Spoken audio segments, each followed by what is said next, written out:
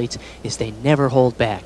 Watch this mount. Back handspring, back handspring. Oh, she was a little bit off on that second back handspring yesterday. At that point, she went right into a laid out backflip. Now watch this trick. There's a one arm handstand. Back to a two handstand.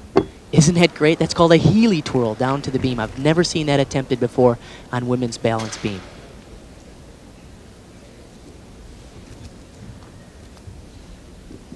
I think one thing that's terrific about her style is she's very confident, she's very poised, she stands tall, she has terrific extension. There's almost a cockiness about it. There's almost a arrogance to her performance that I think is really infectious. Do you know what her name translates to in English? Strazheva, the secure one. Exactly what you just described. I think that's very appropriate. Notice here she does very clean, full turn. Nice fluid movement, so it's important that she doesn't stop too long right here before her tumbling skills. Back handspring layout.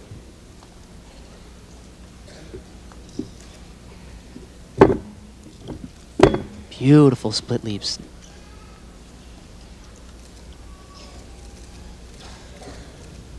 Here she is setting up for her double back dismount, which she did effortlessly yesterday. Tuck double back.